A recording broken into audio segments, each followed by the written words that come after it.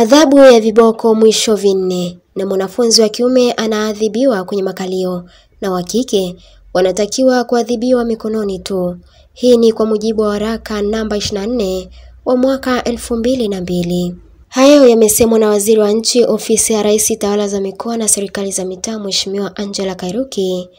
wakati akizungumza na maafisa elimu wa kata, wakuu wa shule za sekondari, walimu wakuu wa shule za msingi na viongozi wa elimu ngazi ya halmashauri kwenye kikao kazi cha uboreshaji na usimamizi wa elimu msingi na sekondari jijini Dar es Salaam. Kwa upande wa suala la adhabu mashuleni kwa wanafunzi wetu, naamini mmekuwa mkiona likiendelea kujitokeza. Jana tumeona limejitokeza Kyerwa,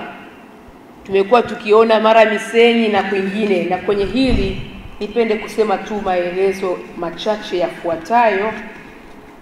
Suala zima la adhabu ya viboko mashuleni linaongozwa na waraka wa elimu namba 24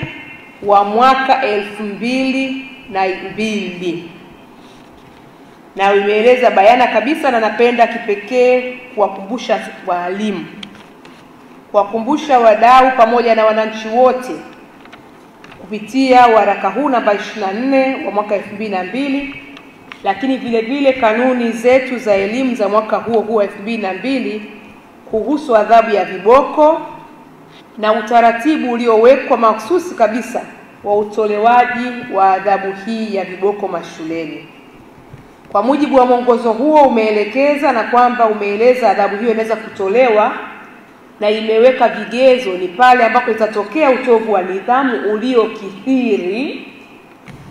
utovu wa nidhamu uliokithiri, ama kwa makosa ya jinai yaliyotendeka ndani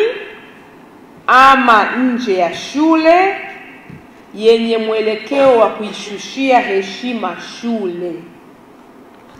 Waraka huu namba 24 wa elimu wa mwaka elfu mbili na mbili